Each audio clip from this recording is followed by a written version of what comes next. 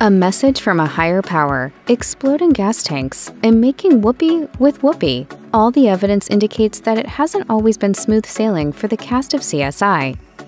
William Petersen played perhaps the most recognizable morgue employee on CSI Crime Scene Investigation, the alliteratively named Gil Grissom. He starred on CSI from the show's first episode in 2000 up through 2009, when he decided to step away. He explained the decision to walk away to CNN, saying, It's CSI, they pay me a lot of money, and I don't have to work very hard anymore. I've got it all figured out, and I just realized, God, as an artist, I'm going to atrophy. Still, though, Grissom returned when CSI decided to return as CSI Vegas, and Petersen told Outsider that returning to the character that made him famous was as natural as could be, saying, It's like riding a bicycle, you know? Back in 2004, Petersen told Playboy about a frightening incident early in his career that nearly sent him to the morgue himself. After an on-set accident left him bleeding and blacked out, recalling, I could hear the doctors working on me, saying that they had lost my vital signs. I was on the All That Jazz escalator with a long tunnel and a lot of white light. Then I specifically remember a dominant male voice saying, It's not your time, get off the escalator. The experience, Petersen says, reassured him that there is life after death, though he said most people he's told about the near death experience didn't believe him.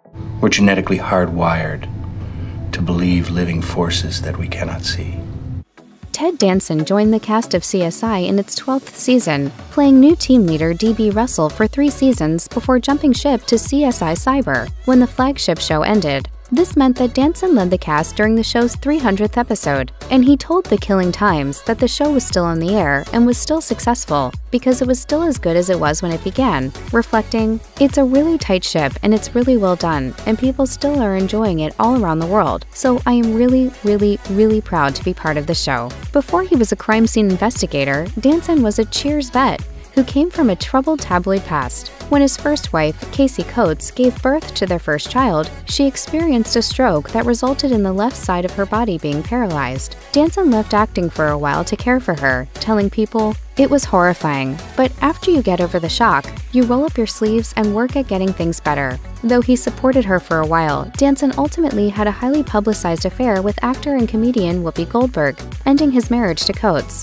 He admitted to people, We're adjusting to the fact that we aren't the same people we were before this happened. Robert David Hall played Dr. Al Robbins for an astounding 328 episodes of CSI, starting off as a recurring character before becoming a regular.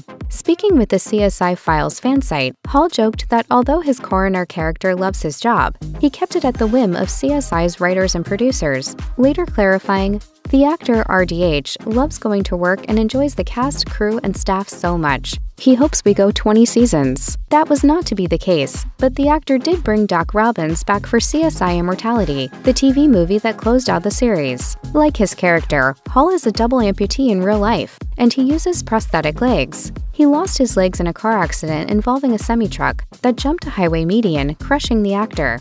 I was driving a little foreign car, and the uh, guy ran right over me, and I should have been dead, but I survived.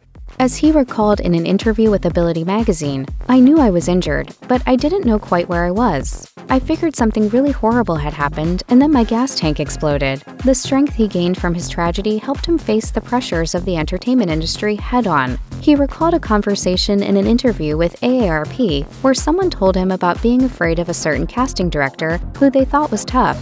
Hall recalled saying, I've always thought I was burned over 60% of my body and lost two legs. How bad can a casting director be compared to that? Elisabeth Shue played Julie Finlay, the assistant night shift supervisor in the Las Vegas Crime Lab on CSI for four seasons of the iconic show between 2012 and 2015.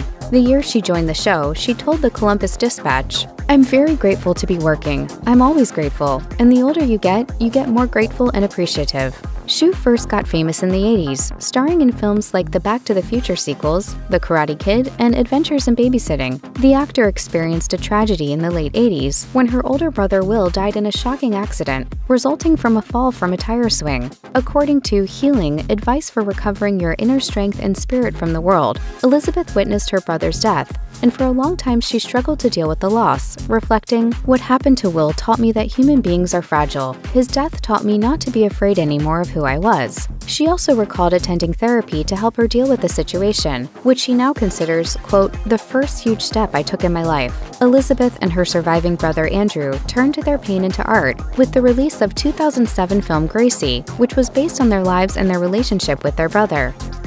Marg Helgenberger is one of the most recognizable actors on CSI, having led the show for its first 12 seasons as Catherine Willows before stepping back. Telling The Hollywood Reporter at the time, I instinctively felt it was time to end that chapter of my career. I'm 53 now, and I feel like I'm still young enough to switch it up. She did, however, continue to appear sporadically throughout the rest of the show's original run, and according to Deadline, she will bring Catherine back on the rebooted CSI Vegas in 2022. Off screen, the actor has been a fierce advocate for breast cancer awareness since learning that her mother was sick.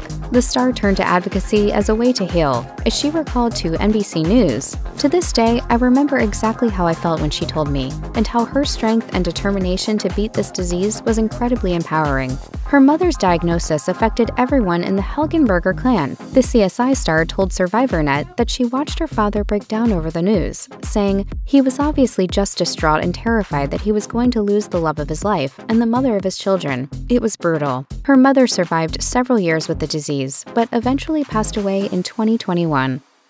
Laurence Fishburne is one of the biggest stars to ever join the cast of CSI. After playing Morpheus in The Matrix and before his role as Pops on Blackish, Fishburne recurred on CSI for 61 episodes between 2008 and 2011. His role as Raymond Langston, a CSI at the Vegas Crime Lab, was actually Fishburne's first long term experience on television, which he told Deadline was a good chance to expand his knowledge of entertainment. He said, It was also an opportunity for me to learn, as a producer, the television business a little better better, because I was certainly unfamiliar with the workings of television from the business side. He added that his production company got Blackish off the ground when he left the crime drama. In his personal life, Fishburne and his wife Gina Torres were together for many years, seeming like one of Hollywood's most stable couples for 14 years, even starring together on Hannibal. However, they tragically split in 2017, although Torres insisted that the breakdown of their marriage was as good natured as could be. Telling Us Weekly, There are no bad guys here, only a love story with a different ending than either one of us had expected. Fishburne officially filed for divorce several months later, and according to Radar, everything was finalized the following year.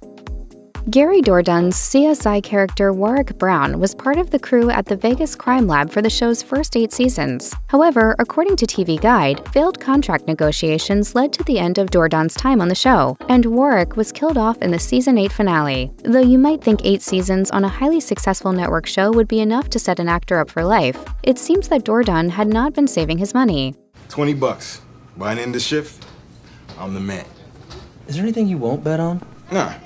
Within a few years of departing CSI after a string of legal troubles, TMZ reported that the actor filed for bankruptcy. According to documents filed in court, Dourdan claimed that his disposable income added up to a mere $321 a month after all of his bills were paid. According to a Page Six report, the actor apparently blamed his lack of funds on his character's death, meaning that he couldn't return to the show to recoup the fame and wealth that had come with the part for his first few years on television. Thankfully, he seems to have turned his career around. Dourdan had had recurring roles throughout the 2010s on shows like Being Mary Jane, and more recently, he starred in the movie Redemption Day.